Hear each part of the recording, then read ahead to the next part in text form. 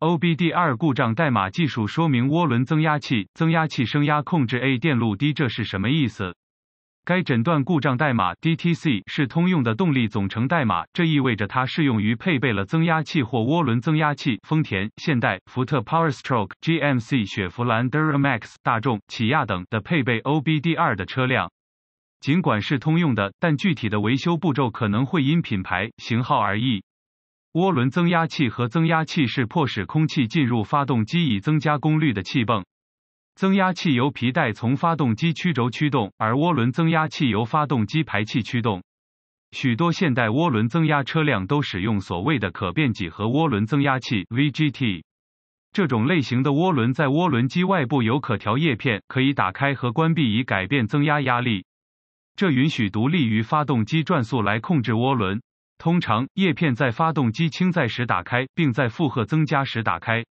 叶片位置由动力总成控制模块 （PCM） 控制，通常使用电子控制螺线管或电动机。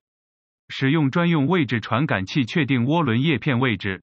在使用传统的固定排量涡轮增压器或增压器的车辆上，升压是通过废气门或旁通阀控制的。该阀打开以释放增压压力。PCM 使用增压压力传感器监控该系统。参考此故障代码，A 表示系统电路的一部分出现问题，而不是特定症状或组件。无论发动机使用的是 VGT 涡轮增压器还是传统的涡轮增压器，增压器当 PCM 检测到低增压控制螺线管信号时，都会设置代码 P 零零四七。一种类型的涡轮增压器增压控制电磁阀，相关涡轮增压器发动机故障代码 P 零零四五涡轮增压器增压器增压控制 A 电路开路 P 零零四六涡轮增压器增压器增压控制 A 电路范围性能 P 零零四八涡轮增压器增压器增压控制 A 电路高 P 零零四九涡轮增压器增压器涡轮超速 P 零零四 A 涡轮增压器增压器升压控制 A 电路间歇错误代码的严重性和症状，这些代码的严重。性为中等到严重，在某些情况下，涡轮增压器增压器的问题可能会导致严重的发动机损坏。尽快解决此代码是个好主意。P 零零四七代码的症状可能包括增压不足导致发动机性能不足，发动机检查灯点亮原因。设置该代码的潜在原因有增压压力、涡轮增压器位置传感器故障、涡轮增压器增压器故障、控制螺线管故障、PCM 真空故障。如果阀门是真空控制的，则会泄漏。诊断和维修程序首先从目视检查涡轮和涡轮控制系统开始，查找连接松动、接线损坏、真空泄漏等。接下来检查有关此问题的技术服务公告 （TSB）。如果未找到任何内容，则将需要逐步进行系统诊断。以下是通用过程，因为此代码的测试因车辆而异。为了准确的测试系统，您需要参考制造商的诊断流程图。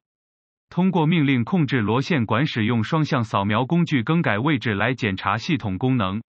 将发动机的 RPMs 提高到约一千两百 RPM，并在开和关之间切换电磁阀。这样做时，引擎的 RPM 应该改变，并且扫描工具上的传感器位置 PID 也应该改变。如果 RPM 波动但位置、压力 PID 不变，则怀疑传感器或其电路有问题。如果 RPMs 根本没有变化，则怀疑控制螺线管、涡轮、增压器或接线有问题。要检查电路，测试螺线管的电源和接地。注意，进行这些检查时，应使用扫描工具命令电磁阀。如果缺少电源或接地，则需要追溯工厂接线图以确定原因。检查涡轮增压器，增压器拆下进气口以检查涡轮增压器，增压器是否损坏或碎屑。如果发现损坏，请更换设备。测试位置、压力传感器和电路。在大多数情况下，位置传感器应连接三根电线：电源、地线和信号线。测试所有三个都存在。测试控制螺线管。在某些情况下，您可以通过用欧姆表检查其内阻来测试螺线管。有关详细信息，请查阅工厂维修信息。您也可以使螺线管跳到电源和接地，以查看其是否可运行。